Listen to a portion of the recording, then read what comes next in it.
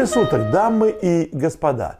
Поводом для нашей сегодняшней встречи стало мое обращение в технический отдел. Я поговорил с нашими техниками, и они поведали мне, что очень многие из вас э, обращаются к ним с просьбой помочь разобраться в новом интерфейсе приставки Camigo Quattro. Приставка эта не нова, она много лет на рынке, и я знаю, что она пользуется большой популярностью в Европе, но и в Америке она также имеет широкое хождение. Дело в том, что э, приставка эта э, была много лет на рынке с одним и тем же интерфейсом, и в ней кардинально ничего не менялось. Но вот в одно утро люди получили новую прошивку, они ее установили, и жизнь кардинально изменилась, особенно для тех, кто постарше, потому что в один миг буквально люди получили совершенно другую приставку. И работает она теперь совершенно не так, как работала раньше. Вот мы сегодня с вами с этим и разберемся. Итак, тема сегодня – как управлять приставкой Камиго Quattro.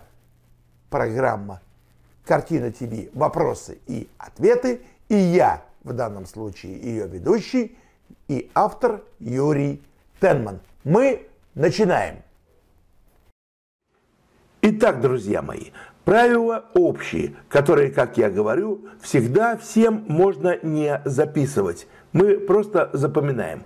Если на приставке горит зеленый огонек, она включена. Если горит красный, она выключена. Включение производится на пульте нажатием красной кнопки сверху. Один раз нажали, должна загореться зеленая лампочка, и телевидение включится на том канале, на котором вы оставили. Оставили на первом, будет первый, оставили на пятом, будет пятый. Громкость. Громкость находится на пульте рядом с колесом с левой стороны, кнопки V+, V-. Сейчас вы их видите на экране. У нас на пульте есть круг главный, который и управляет, и есть несколько ключевых кнопок, э, с помощью которых и производится управление э, картиной ТВ. Главная кнопка у нас с вами в данном случае кнопка э, ТВ или кнопка Back. Мне кажется, что кнопка Back расположена удачнее на пульте, просто потому, что когда вы держите пульт, вы можете совершенно спокойно сразу же до нее дотянуться, и не надо тянуться наверх на кнопку ТВ. Поэтому не имеет значения, давите ли вы кнопку Back или кнопку ТВ, оно работает и функция в данном случае несет одинаковую. И поэтому я считаю, что мы будем с вами учиться пользоваться кнопкой Back. И первое, что мы делаем, мы ее с вами и давим. Мы надавили на кнопку Back, и мы с вами увидели столбики. В данном случае их два. Первый столбик разбит на э, разделы. И мы видим с вами развлекательные, детские, музыкальные, спортивные, Украина, Израиль и тому подобное. И э, в правой стороне мы с вами видим картинки, но мы с вами видим здесь не Э, передачи. Каждая строчка это не передача. Это номер канала, например, 145 Интер, 146 СТБ, 147 1 плюс 1. Нету программы передачи, но мы с вами видим каналы. И в данном случае мы видим, что с левой стороны, в левом столбике, у нас папка Украины сейчас выделена более ярко, серым цветом. Давайте э, мы выйдем налево, то есть мы на колесо нажали налево, для того, чтобы нам было ярко видно, где мы сейчас находимся. Мы сейчас белым выделена Украина, находимся как раз в левом столбике. Мы ушли налево. У нас есть колесо, и на нем, если нажать на колесо налево, мы уйдем налево. Если нажать направо, направо. Если вверх, это вверх. Если вниз, это вниз.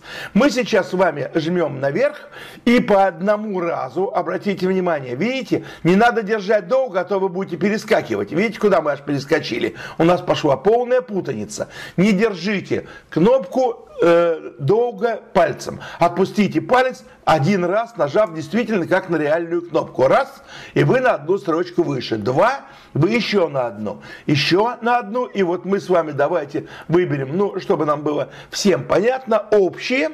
И вот мы с вами вышли в общие каналы. И мы сейчас видим, что канал «Россия-1» чуть-чуть ярче по серому цвету, а не черный, чем остальные. Это значит, что при общих каналах у нас с вами определен первый канал, от которого начинается отсчет общих каналов. Принцип управления картиной ТВ, он очень прост. Он абсолютно такой же, как был в наших бывших советских библиотеках. Давайте вспомним. Мы приходили в библиотеку. Книжки были расставлены по полкам, книг было много. Как их найти? Мы подходили к тетеньке библиотекарше. Она нас отправляла к нужной полке. Отдельно стояли книги по искусству, э, приключенческая литература, фантастика, русская литература, классика. Все было удобно и грамотно. А теперь давайте посмотрим. У нас с вами сейчас есть левый ряд – котором надписи общие, познавательные, природа и туризм, хобби и досуг, новости, развлекательные, детские, музыкальные и так далее. Список не ограничивается музыкальными вниз, он идет ниже. И в скобочках после каждой надписи, например, общие, у вас написано количество каналов, которые входят именно в эту папку. Назовем их папки, но в принципе это те же полочки, которые были в библиотеке. Там мировая литература, книги по искусству, историческая, приключенческая, фантастика, поэзия. Здесь то же самое, общие. Это каналы или книжки, как хотите, так их и называйте. В данном случае все-таки это каналы. Они расставлены как книжки по полочкам. И на этой общей полочке у нас с вами 27 каналов. Ну или книг, как в библиотеке. Если мы сейчас с вами перейдем на познавательные, обратите внимание, у нас поменялась картинка не только э, слева, где появилась надпись «познавательные», но у нас появилось и э, другое содержание каналов. И теперь каналы познавательные серым, э, более ярким цветом обозначены первый канал, с которого и начинаются познавательные. Видите, сверху на общих сейчас с левой стороны, на э, папке «Общие» у нас скобочках стоит цифра 27. 27. Значит, их 27 каналов. А следующий стоит полочка как в книжном шкафу, познавательные, да? И вот познавательные, если считать книжки пальчиками, э, то а, э, первая книга или первый канал будет уже иметь 28 номер. То же самое происходит и здесь. Каналов э, в скобочках мы видим, да, 13, а первый канал, который стоит у нас и обозначен более ярким серым цветом, это канал 28, соответственно, потому что это первый канал от познавательных, и мы видим, что это Viasat History Channel. Если мы сейчас с вами уйдем на новостные каналы, то, соответственно, у нас уже 50, 61 э, канал Евроньюз. Если уйдем в детские, там же еще было какое-то количество каналов, мы их пропустили. 77 канал начинается, и их 11 каналов детских вниз. Для того, чтобы перейти к этим каналам, нам надо уйти в следующий соседний столбик. Движение внутри столбика осуществляется кнопками вверх-вниз. Видите, сейчас мне нужно вверх, я иду вверх. Если мне нужно вниз, я давлю на нижнюю э, часть колеса под кнопкой ОК, и я прохожу вниз по одному разу. Потренируйтесь делать это по одному разу, давите быстрыми резкими движениями. Если мне нужно уйти в каналы непосредственно и выбрать уже, как говорится, книжки на полочке, тогда я должен перейти в следующий столбик, который находится справа у меня на экране. Я выбираю, например, папку познавательные, наиболее интересные каналы на нашем телевидении. И эм, Посмотрите, мы сейчас выбрали познавательные, но мы хотим посмотреть, что же там за каналы у нас в эту папку входит. Для этого один раз мы давим на правое колесо, на правую сторону колеса. Раз, и у нас стали яркими картинки и яркие надписи. Серым теперь уже очень ярко выделен 28 канал Viasat History. Мы, допустим, не хотим сейчас смотреть его, просто хотим посмотреть, что здесь есть за каналы. И видим, внизу у нас стоит канал Россия Кей. Это Россия Культура. Как в него попасть? Очень просто. Когда я сейчас нахожусь уже здесь, я движениями вниз – по одному движению ухожу и ставлю на серую полосу канал «Россия. Культура». Сейчас он у меня выбран, но программы передач нет. Что по нему идет? У нас справа на этой серой полосе высветилась стрелочка вправо. Это говорит о том, что там есть еще один столбик. И теперь движением вправо мы уходим с вами туда. Мы нажали на правую сторону колеса, и у нас появилось еще два столбика. Обратите внимание, их два а не один. В первом столбике у нас с вами обозначена программа передач, а во втором столбике у нас самый узенький столбик с правой стороны. Заметьте, здесь у нас есть часы с указанием даты и времени. 10.43 сейчас, суббота, 27 марта. Так вот, с правой стороны над часами у нас есть еще один столбик с датами где стоит 28, 27, 26, ну и обозначены, соответственно, дни недели. Так вот, посмотрите, сейчас мы с вами видим, что у нас зеленым кружочком под надписью «Успех». Видите зеленый кружок? У нас обозначена зеленым кружочком та передача, которая в данную минуту идет в прямом эфире. Обратите внимание, она у нас идет по времени рядом с зеленым кружочком с 10.20 и будет идти до 11.50. В 11.50 следующая программа «Феликс Петуваш», художник из Байкопа. У нас стоит время 11.50, 12.30. Это когда начнется следующая передача по сетке программы передач. Сетка программы передач может быть настроена по-разному. В данном случае она у меня настроена с задержкой в 7 часов. Сделано это умышленно. У меня в Соединенных Штатах разница сейчас с Москвой составляет 7 часов. И для того, чтобы программа у меня выглядела на экране и шла так же, как она шла в Москве, и чтобы мне было привычно, что, например, вечерние новости начинаются привычно в 8 часов, вечерние сериалы идут вечером, а дневные или утренние идут утром или днем, я эту разницу во времени в настройках установил. Если вы хотите смотреть непосредственно прямой эфир из Москвы, то тогда вам надо снять эту задержку вещания или ее не устанавливать. Как она снимается или как она устанавливается, выложен специальный ролик, и э, описание на него будет сделано у меня э, на этой странице. Вы сможете в него попасть. Он так и будет называться «Как смотреть прямой эфир из Москвы». Теперь посмотрите, где обозначено, есть ли у вас эта задержка или нет. Дело в том, что при настройке абонемента, когда вы его вводите первый раз, вам по дефолту картина ТВ, учитывая часовой пояс, который устанавливается с помощью вашей интернетной компании, как правило, автоматически, сама приставка подбирает время задержки с Москвой. Кстати, делает она это не всегда правильно и желательно бы проверить. Как убедиться в том, что у вас все верно? Давайте Давайте на секунду вернемся назад и уйдем влево, где у нас сейчас обозначена левая стрелочка. И вот посмотрите, у нас с вами сейчас стоят каналы, видите, 29, 30, 31, 32, это в правом столбике, и мы после каждого канала видим цифры минус 7, минус 7, минус 7. Видите, в квадратных скобочках.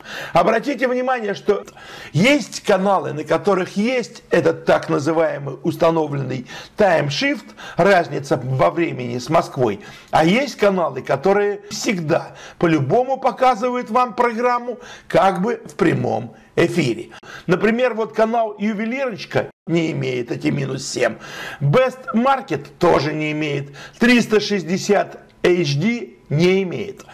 Так вот, на большинстве каналов вы действительно реально увидите э, цифры семерки, да, их большинство.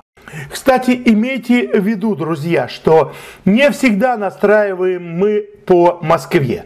Я все время говорю по Москве, поскольку, поскольку я сам россиянин и сам из Санкт-Петербурга, поэтому я смотрю российские каналы, э, хотя украинских тоже очень много интересных, но я смотрю э, Россию, и мне удобнее настраивать по московскому времени. Если вы больше смотрите украинские каналы, то, наверное, имеет смысл для вас установить, например, задержку вещания не по Москве, а по Киеву. Или, например, вы можете установить по Еревану, если вы больше смотрите армянские каналы. Ну и так далее. Это удобно. Многие меня спрашивают, а я не хочу ждать вечера, чтобы в 9 часов вечера, в 10 смотреть какое-то кино, которое будет поздно, а я рано ложусь спать. Что же мне, надо мне передвинуть и снять эту задержку вещания, чтобы смотреть по Москве, допустим, в час 30, если разница там 7 часов или 8 часов времени, чтобы уже в час, в 2 часа дня я мог там или могла посмотреть любимый э, мной сериал. Я не хочу ждать, у меня там самая интересная серия. Что делать тогда? Друзья мои, многие делают ошибку. Они снимают этот таймшифт, они снимают эту задержку вещания, устанавливают в ноль, потому что они думают, что вот теперь они будут смотреть все наперед. Это неправильно. Не надо ничего менять. Дело в том, что разница во времени в данном случае прекрасно работает на вас. Давайте выберем первый канал, ну, потому что он самый распространенный, и программа его, как правило, известна большинству. И вот мы видим с вами стрелочку вправо, мы опять же вправо заходим в программу передач и видим. Обратите внимание, что же мы с вами видим? Что сейчас у нас идет шоу 100 к одному, оно выбрано серым цветом, и оно сейчас у нас как бы идет в прямом эфире, но с задержкой. И поэтому сейчас, вот по нашему времени, оно в 11 часов, как у нас 11, так и в Москве как бы в 11 часов, оно закончится, да? Это шоу 100 к одному. Но это в Москве было 11 часов. Но сейчас в Москве уже далеко не 11 часов.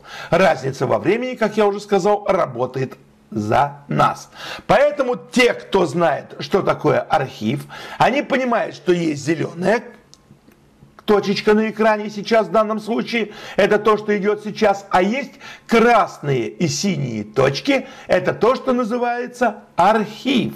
Так вот, архив дает нам возможность, во-первых, не только смотреть передачи, которые э, были в течение двух недель, они уже записаны, и их можно смотреть. Так вот, обратите внимание, что эти записанные программы идут после 11 часов. И это возможно только потому, что в Москве они уже записаны и, соответственно, нами выложены. И поэтому программа «Вести», которая начнется в 11, а сейчас у нас только 10.50, как бы через 10 минут ее уже можно смотреть. Юмор можно смотреть, можно смотреть аж до того момента, как в Москве будет 16 часов 55 минут, когда уже выложена Э, очередная серия фильма «Чужие родные», четвертая серия. И поэтому совсем не обязательно ждать ее до 16 часов 55 минут, когда она начнется по программе передач, а учитывая, что она с красной точкой, ее можно смотреть уже прямо сейчас. Как? И вот здесь мы с вами подходим к интересному моменту. Мы с вами начинаем следующую часть нашей передачи. Она называется «Как пользоваться архивом».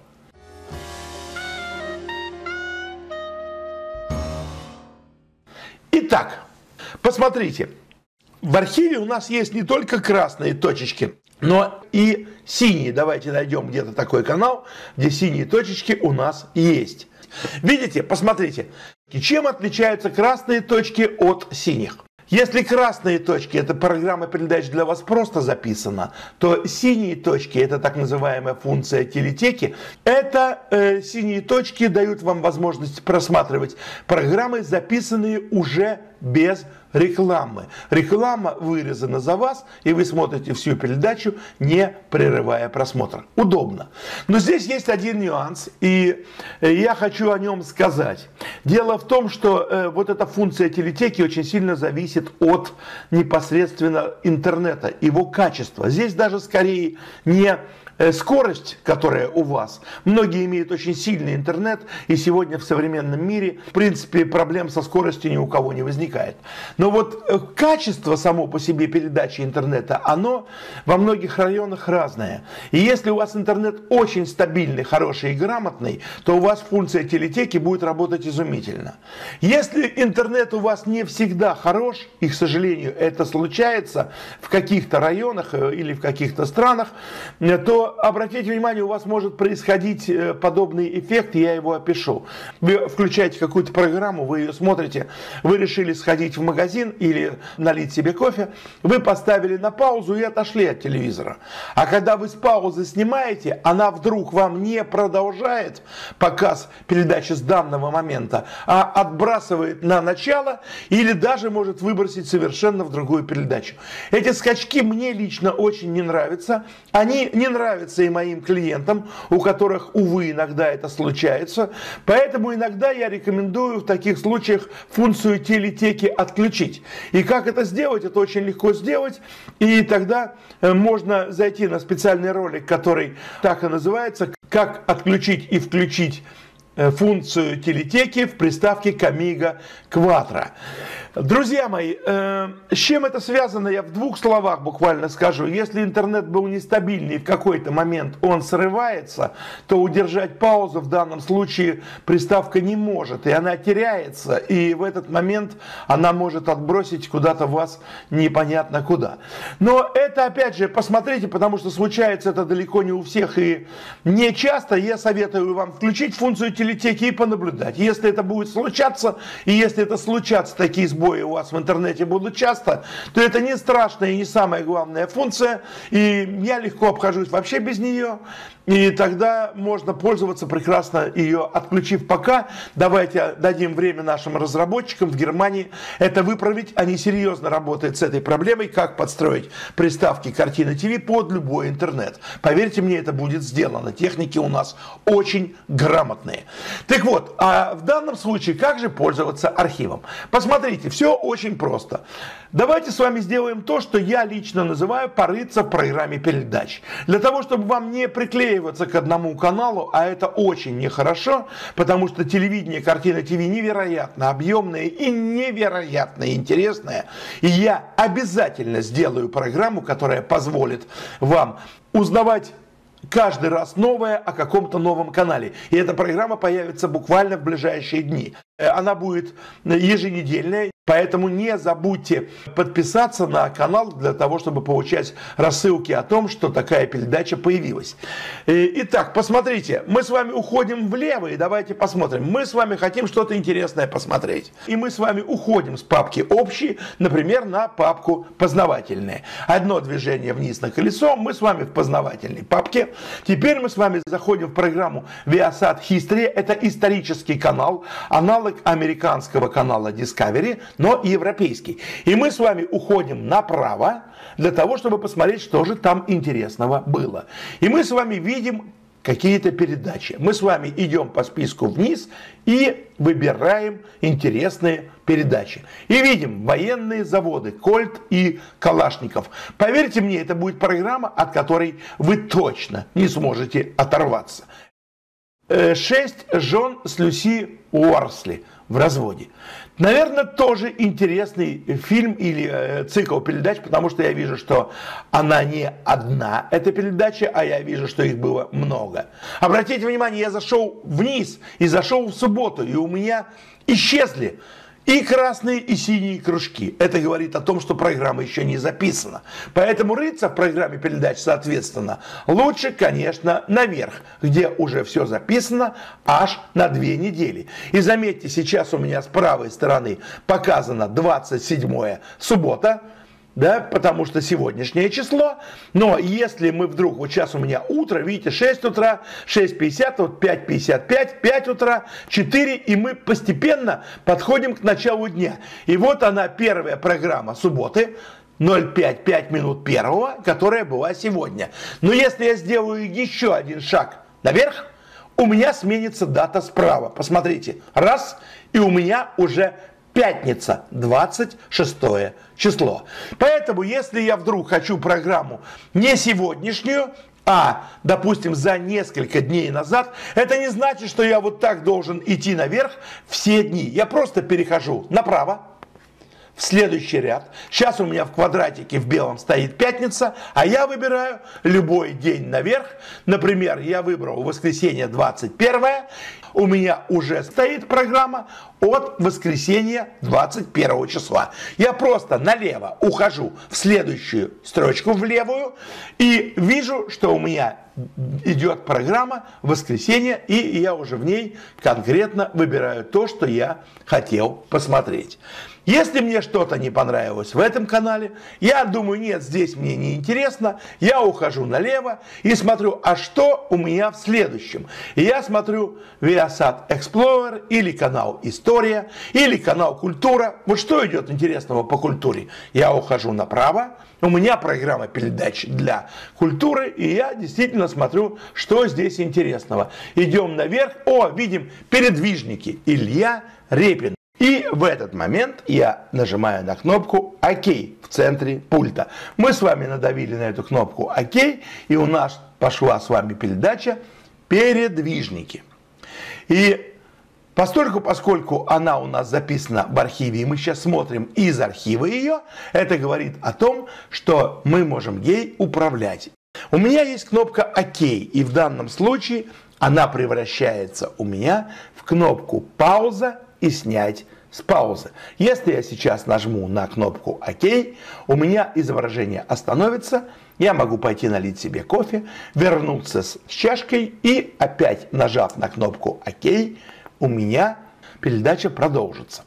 Теперь посмотрите, если мне нужно перемотать то все очень просто. Например, началась реклама, я не хочу ее смотреть и хочу передвинуть туда, где рекламы уже нет, к началу этого следующего сегмента. Все очень просто. Как по шкале времени нас учили на уроках математики. Налево, назад, до нашей эры время идет да, от нуля, а направо вводит нас в будущее. То же самое здесь от кнопки ОК. Налево, назад, направо, вперед. В правом углу экрана при нажатии этих кнопок у меня будет появляться цифры, которые по одному нажатию будут прибавлять мне по одной минуте. Давайте это сделаем. И я по одному разу, учитесь это делать по одному разу, а не держите кнопку. И мы с вами видим, что у меня прибавляется, смотрите, плюс 1, плюс 2, плюс 3, плюс 4, плюс 5 и плюс 5 минут. И мы с вами передвинулись на 5 минут вперед. Набрав нужное количество минут, мне совершенно не нужно давить какие-либо кнопки еще. Не надо давить кнопку ОК. Ничего не делайте. Набрали нужное количество, отпустите руку, пульт не трогаем, приставка перебросит нас на 5 минут вперед. Если нам нужно назад, мы с вами давим минус 1, минус 2, минус 3, минус 4, минус 5, и мы с вами вернулись туда, где были. Обратите внимание, что снизу в данном случае я даже нажму на паузу, чтобы вам было видно. Видите, у меня сейчас стоят нули белые, большие. Эти нули говорят нам о том, насколько я хочу передвинуться. А вот что означают оранжевые цифры внизу? Это цифры от начала передачи. В данном случае мы сейчас с вами находимся на 2 минуты 9 секунд от начала передачи. Поэтому если вам надо переставить футбольный тайм на 45 минут, и вы видите, что уже 2 минуты прошли, значит смело перекидывайтесь на 43 минуты и попадете там на последнюю минуту первого тайма. Ну, прибавьте перерыв. То есть это легко. Но если мне нужно, например, передвинуться не на одну минуту, набирая, да, а вот давайте снимем с паузы, а вот так, не набирая по одной минутке, видите, плюс одна, плюс две, плюс три, если я буду держать, эту кнопку, то я, видите, пройду очень быстро до конца передачи, и дальше я перемотать не могу, передача закончилась. Поэтому э, перемотка у вас будет проходить по э, количеству времени, которое занимает непосредственно в эфире сама передача. Если она идет час, то в течение часа вы можете передвинуться на любую точку. Но не на час 15 вперед, потому что передача закончилась, и дальше невозможно по ней э, переходить направо. То есть нельзя перемотать на 5 часов часов назад э, или на, на 5 часов вперед от какой-то точки. Вы дойдете до конца передачи и перемотка закончится. Теперь же поговорим вот о чем как поступить, если нам нужно осуществить перемотку в программе, э, которую мы смотрим, не на одну минуту, там, не на две минуты, а если нужно точная э, перемотка, допустим, на 10, 15, 20 секунд. Есть ли такая возможность приставки? Да, есть. У вас на пульте, на колесе при движении налево-направо, когда вы смотрите программу из архива, и лево это назад, право это вперед, мы с вами помним, но у нас есть еще функция вверх и вниз. Если вы нажмете на верхнюю часть колеса, то, соответственно, у нас появятся нули, и видите, мы прибавляем по 10 секунд. Вот нам нужно 40 секунд, мы отпустили руку, плюс 40 секунд у нас перемотка. Нам нужно э, вернуться назад, нет никаких проблем, мы это можем легко сделать. Если мы э, нажмем на нижнюю часть колеса, видите, у нас получается минус 10, минус 20, вот сейчас на 20 секунд мы возвращаемся назад, что бесспорно удобно. И последнее. Есть у нас на пульте также кнопка, которая называется меню. Это крайне полезная кнопка, будем говорить так, она вторая по важности, она дает вам большие возможности.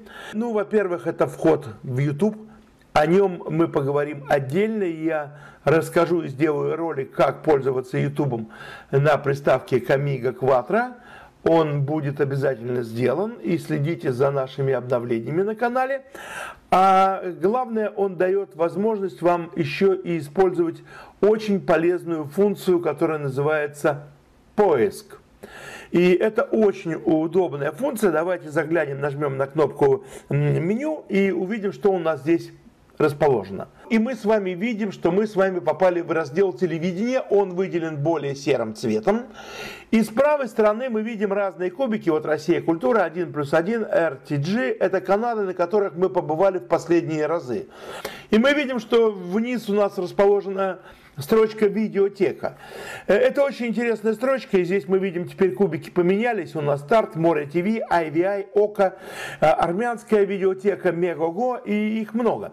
Я не буду сейчас рассказывать ни про видеотеки, ни про то, как ими пользоваться, потому что, опять же, Думаю, что у нас в ближайшие дни появится отдельный фильм, как пользоваться видеотеками на приставке Камига Quattro. Опять же, следите за обновлениями, не забывайте подписаться на канал. Тогда будете получать по э, имейлу или по телефонам, смс-ками сообщения о том, что такое обновление выставлено. Но у нас сверху есть строчка «Поиск». Мы с вами выбрали ее, и мы с вами видим, что сейчас мы с вами находимся в поиске. Если мы теперь нажмем на кнопку ОК, то у нас высветится кейборд. И все становится крайне просто. Мы выбираем название фильма, который мы хотим посмотреть. Или название передачи, которое мы точно знаем, что она э, была, и мы не знаем просто, где ее найти. Или просто найти то, что мы хотели бы, может быть, кто-то и показывал.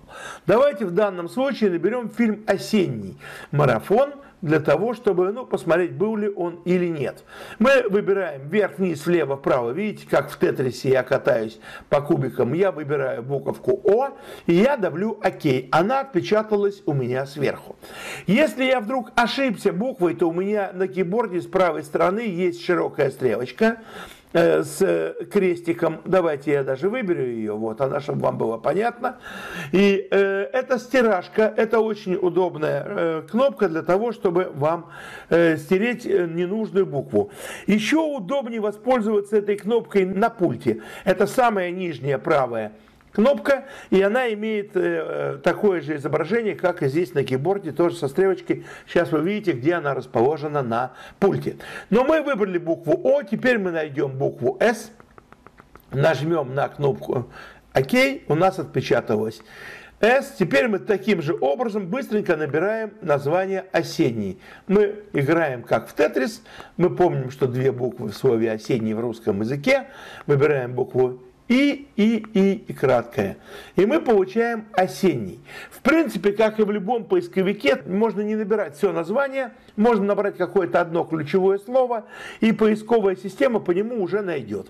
Все, что нам осталось сделать, это завести эту поисковую систему. Для этого существует внизу кнопка «Ввод». Но прежде чем нажать ее, давайте посмотрим, что есть еще на кейборде для того, чтобы полностью закончить эту тему. У нас есть кнопка «Очистить». Она позволяет очистить нам всю строку набора, а не убирать отдельно взятую букву.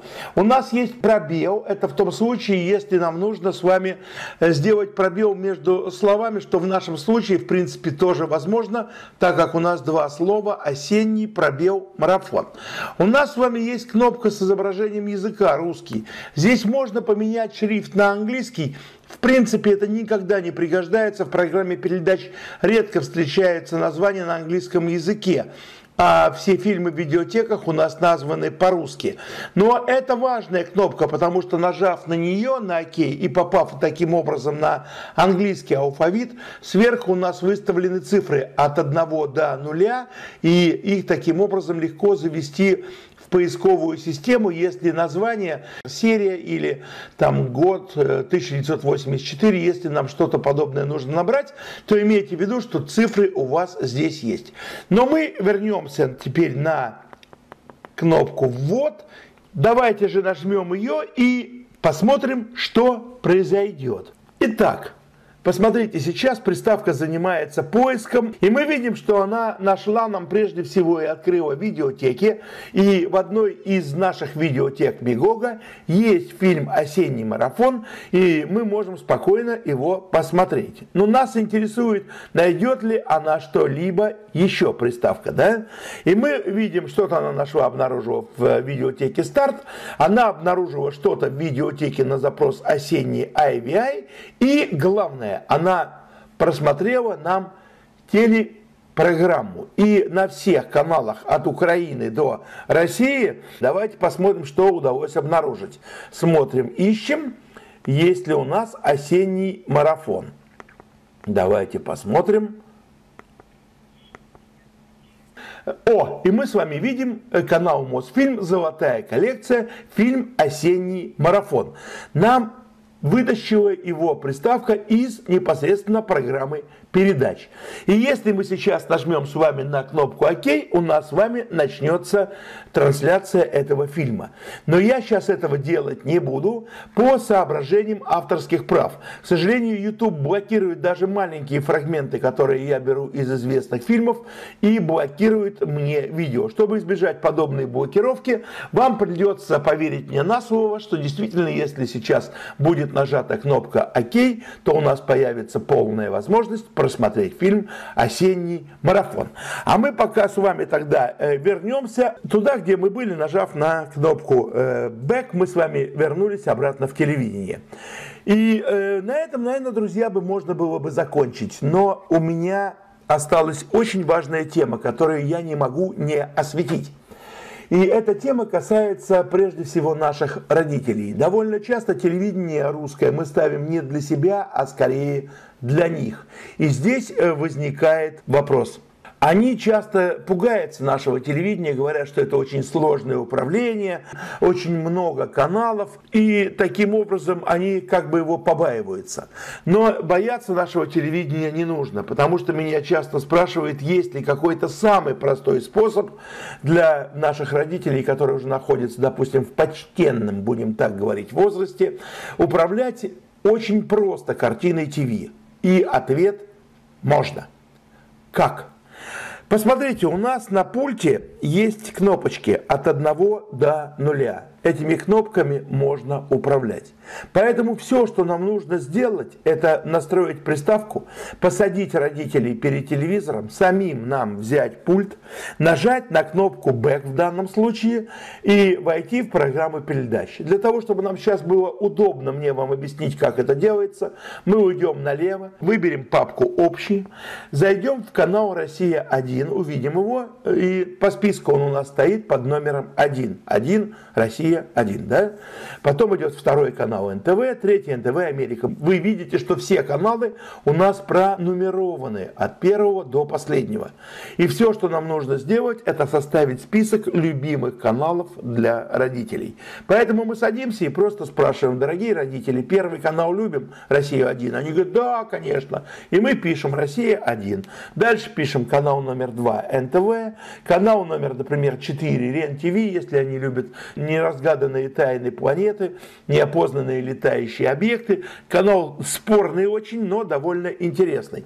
Канал ТВ-центр очень интересный, с такими программами, как «Хроника московского быта», «История э, создания советского кино». Там очень много интересного, хорошие сериалы, канал ТВ-центр. И вот так мы с ними проходим все каналы. Например, канал «Дождь». Любим ли мы альтернативные новости, не такие, как по центральным каналам. Канал РТР «Планета», я знаю, его очень многие любят. Канал 5 э, Санкт-Петербург показывает в основном 24 часа в сутки сериалы, и в основном либо военные, либо детективные, что тоже нравится нашим родителям. Домашний прекрасный канал. И вот запишите все эти цифры, там 12, 13, 15 и дальше, посмотрите, я сейчас вернусь э, в телевидение, чтобы нам было понятно. Вот включили телевизор родители, нажали на кнопку включения, это первая кнопка. А дальше просто выбирают каналы цифрами. Нужен первый, надавили на один. В правом углу высветилась цифра 1, и вы попали в первый канал. Нужен канал номер 10, набрали 1, 0 и попали в канал «Дождь». Таким образом вы легко выбираете любой канал. Если вам нужно еще второй простой способ.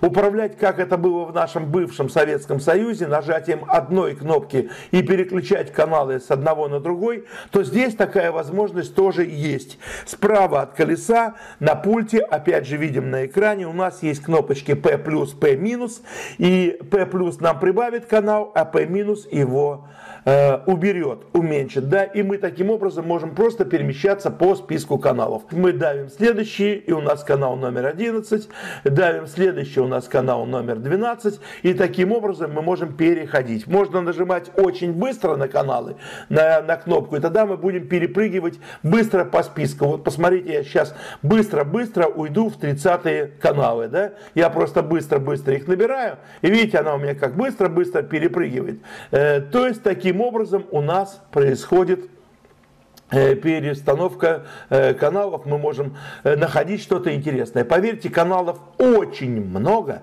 очень много. И таким образом вы всегда можете найти что-то интересное. Пожалуй, с телевидением все. Мне осталось сказать вам самую-самую малость. В нашем списке, обратите внимание, есть каналы сугубо для взрослых – и в эти каналы нужен специальный вход. Вы можете попасть в данные каналы, но я не буду об этом рассказывать, э, чтобы избежать э, обучения э, этому аспекту наших детей. Ни в коем случае они на эти каналы, конечно, попадать не должны.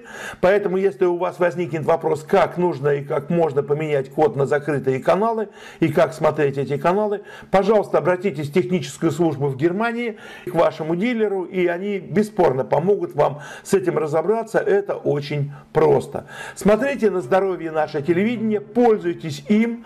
Э, нам осталось осветить две темы. Это тема э, входа в YouTube и как пользоваться видеотеками, которых много и в которых очень интересные фильмы. И, конечно, мы с вами этому научимся. Э, будут выпущены ролики, следите за ними, подписывайтесь на канал, тогда будете еще раз, напомню, получать рассылку о том, что такой ролик появился. С вами был ведущий э, программы и ее автор Юрий Тенман. Вы были на канале Картина ТВ Вопросы и ответы. Ставьте лайки, пишите комментарии, задавайте ваши вопросы. Всего доброго, до новых встреч, берегите себя.